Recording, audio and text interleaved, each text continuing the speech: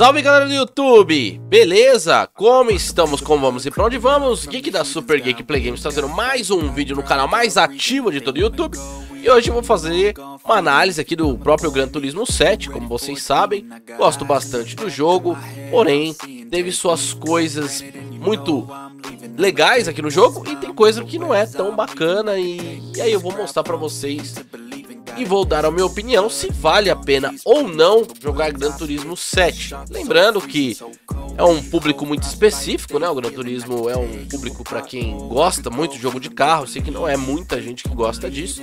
Ainda mais que temos outros concorrentes muito fortes hoje no mercado, como Forza Horizon que, e Forza, né? O Motorsport, o qual aí tem uma qualidade muito, muito boa e na minha opinião, eu acho que até um pouco melhor que Gran Turismo. Eu acredito que seja melhor que Gran Turismo hoje. Porém, vou falar para vocês aí se você quer jogar no PlayStation, né? Porque o Forza só é disponível para Xbox e computador. Então vou falar para vocês aí sobre o Gran Turismo 7, ok? Bom, que é importante pontuar para vocês, logo de cara aqui temos essa opção de rally musical, no qual eu nunca fiz porque não me interessei, tá? Mas basicamente é uma corridinha que você faz e você vai tocando as notas, enfim. É, é uma coisa assim, eu acho que é para quebrar um galho, para você ouvir essas musiquinhas aqui e tal. Então assim, nunca me interessei, vocês podem ver que nunca joguei. Mas para quem gosta, tá? De repente é interessante. Bom, aqui temos o mapa mundi aqui que é realmente o Gran Turismo, a base do jogo, né? Beleza? Esta aqui é a home, né? Aqui é a parte inicial do jogo. Vocês podem ver que é muito, muito similar ao Gran Turismo Sport, tá? Eles estavam com preguiça, ia dar trabalho para eles, né? Então eles pegaram Ctrl C e Ctrl V e colaram, não fizeram muita coisa essa parte de cima aí, essa parte superior aí, né, é igual ao Gran Turismo Sport. Aqui colocaram algo mais parecido com os Gran Turismos anteriores, tá? Vou mostrar para vocês. Temos a parte de escapes pra galera que curte tirar foto, as missões, tá? Que isso já tinha em outros Gran Turismo, a central de licença, que foi uma coisa que eles adicionaram, achei bem interessante voltar com isso. Carros usados, agora fica ali na, no lugar específico. Onde você compra os carros Brand Central, aqui você compra os carros novos. O modo Sport, que seria nada mais que o modo online. Carros lendários, onde você compra os carros antigos aí para coleção ou até mesmo para jogar mais caros. Aqui são carros bem caros. A parte de multijogador, na qual você joga multiplayer é, local. Aqui tem a parte de trocar óleo, trocar roda, fazer alterações no seu carro, a sua garagem. Aqui o café que seria mais ou menos o modo história. Oficina de tuning onde você coloca, equipa parte de escapamento, pneu, enfim.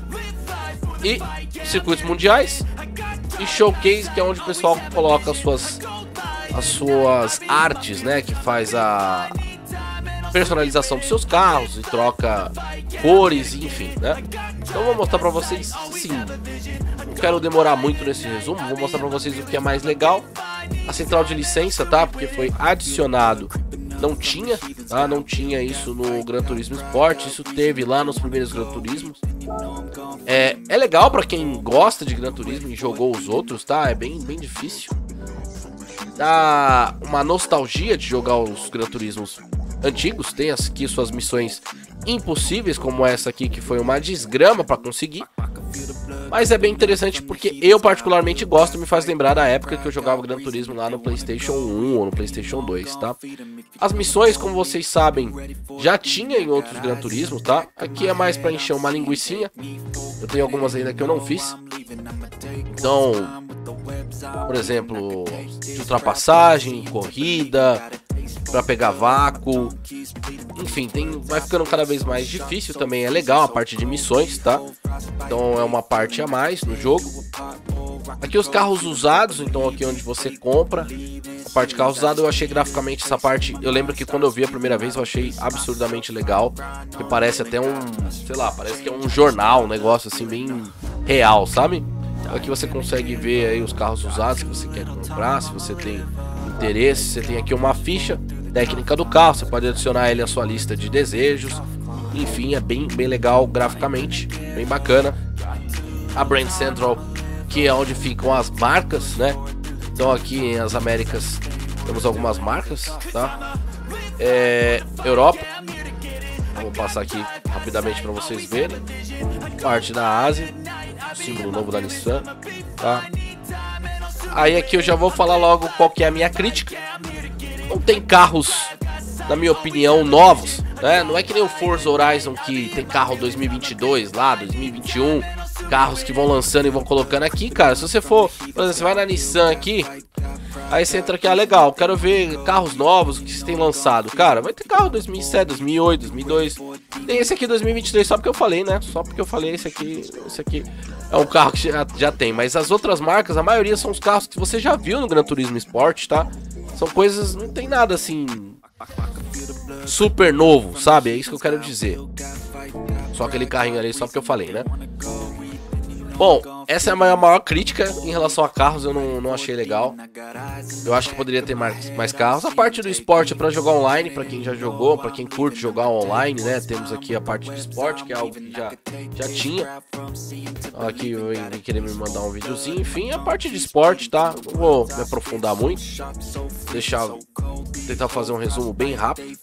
A parte de carros lendários, onde você compra os carros aqui, que foi gerou uma polêmica muito grande, que vocês olham quanto custa um carro desse aqui, né, custa 18 milhões e é um absurdo ter 18 milhões aqui no jogo. Então, muita gente reclamou porque era difícil conseguir farmar créditos aqui no jogo.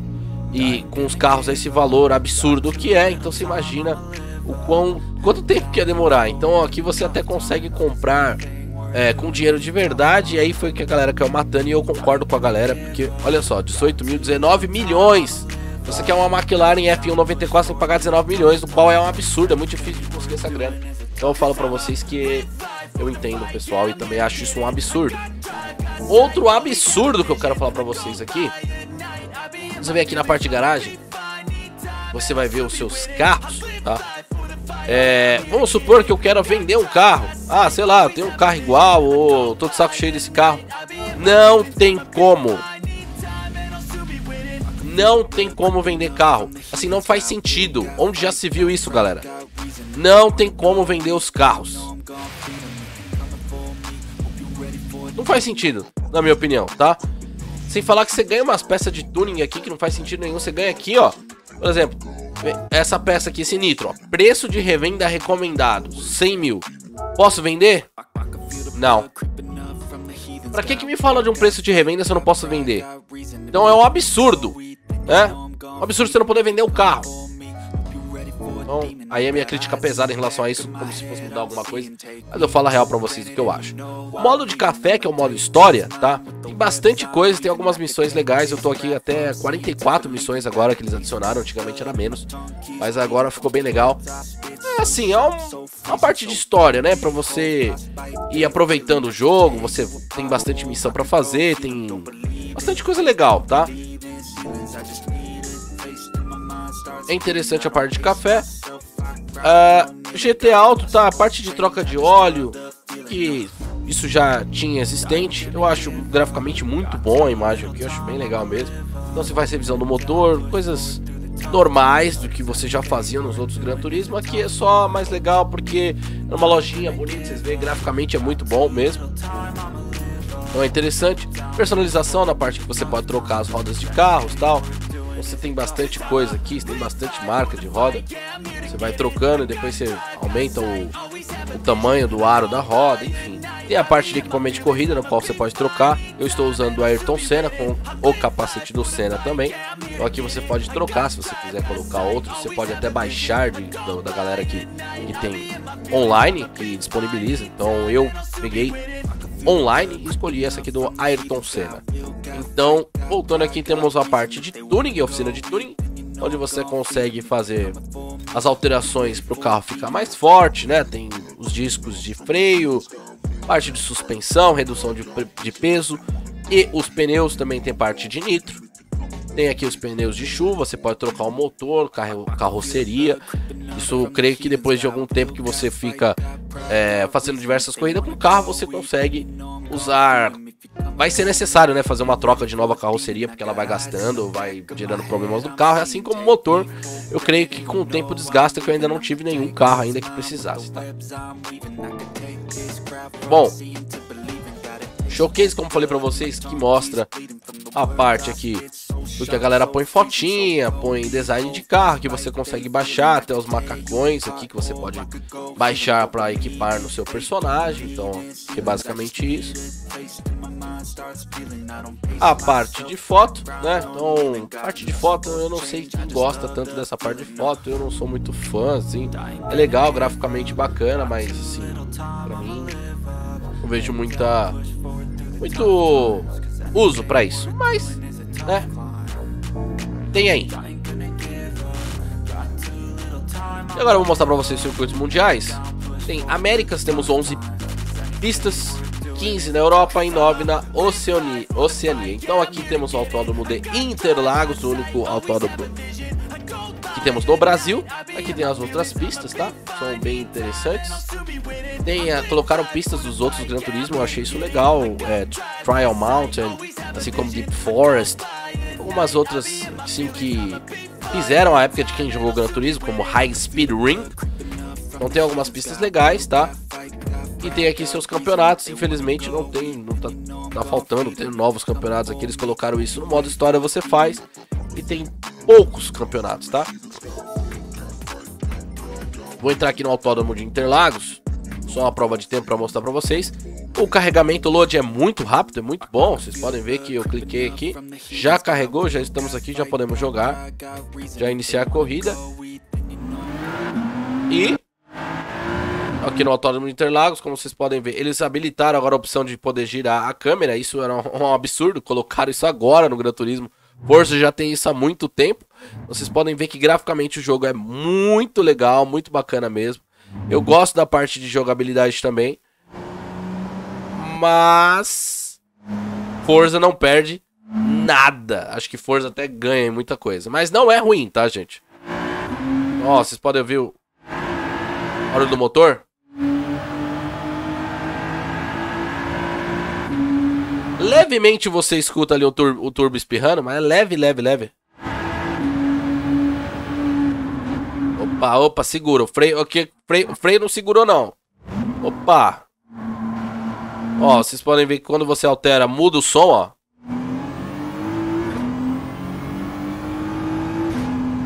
Som da cabine, né?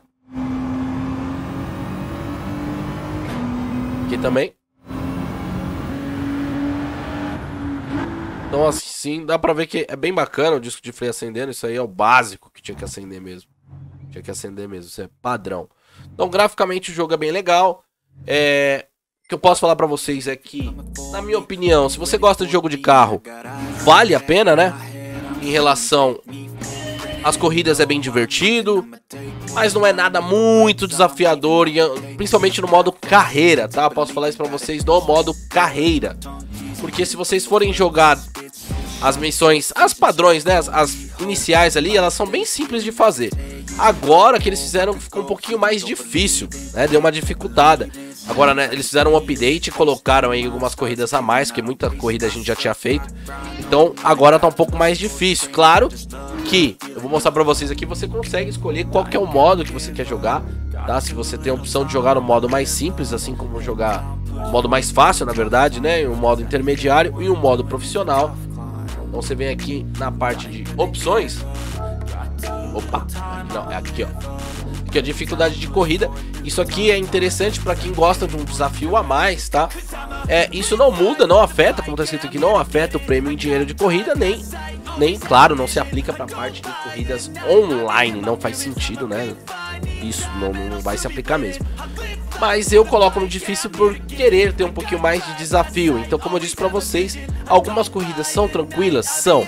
As outras têm uma dificuldade maior. Creio que pode ser ali, eu, eu nunca alterei ali, mas creio que pode ser por conta da dificuldade que eu coloquei. E também pela atualização aí. Eu tô fazendo o um campeonato de série de protótipo GR1.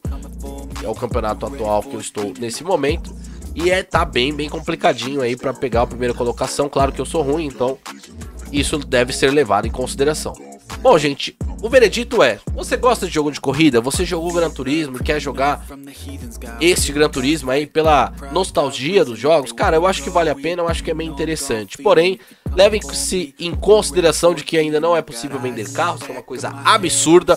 Forza Horizon é um baita no jogo, se você tem como jogar também, acho que vale a pena jogar o Forza Horizon, mas se você tiver que escolher um, eu acho que diria para você ir pelo Forza Horizon. Mas se você só tem um PlayStation, e gosta e tem a nostalgia do Gran Turismo, creio que o Gran Turismo vai te trazer algumas horas de diversão. Porém, se você é novo aí, nunca jogou nenhum Gran Turismo e vai começar jogando por isso aqui, eu acho que você vai ter bastante críticas aí que não vai te agradar em muito, em muita coisa, né?